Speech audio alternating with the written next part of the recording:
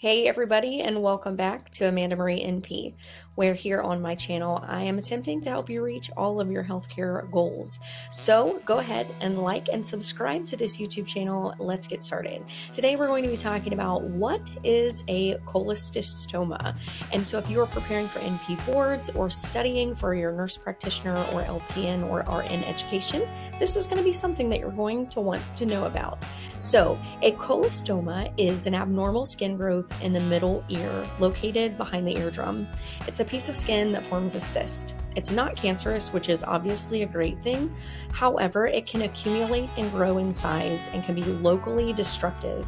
It can create a place to harbor bacteria, which can then cause ear infections.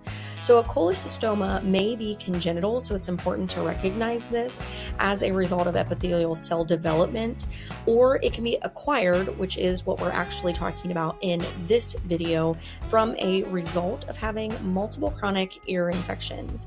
Inflammation of the middle ear leads to poor drainage in the eustachian tube, and this creates a vacuum effect, pulling and stretching the tympanic membrane into the middle ear cavity. The stretched eardrum forms a cystic type pocket that fills with old skin cells and waste materials. This pocket then expands with infection and forms the cholesteatoma. What does it look like?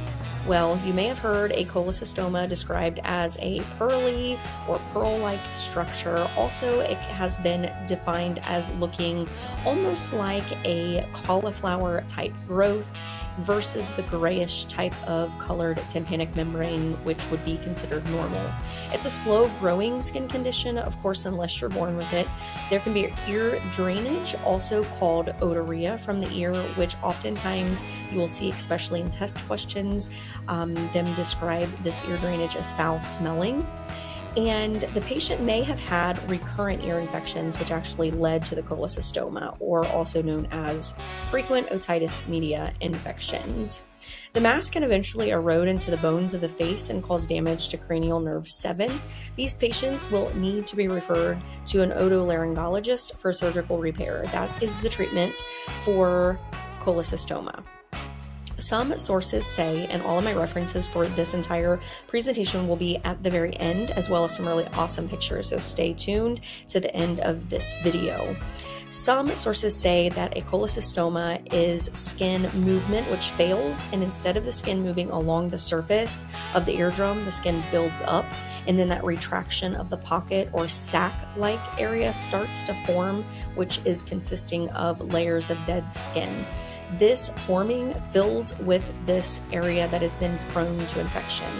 Another source states that a cholesteatoma has high prevalence in individuals with Turner syndrome, which is a chromosome abnormality, highlighting the need for earlier diagnosis and potential benefits of otoscopy training for pediatricians.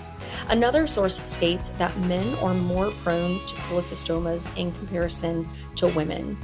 Other symptoms of cholesteatoma include, again, the foul smelling fluid from the infected ear, enlarging cyst that creates a sense of pressure causing discomfort, severe pain in the affected ear, and swelling.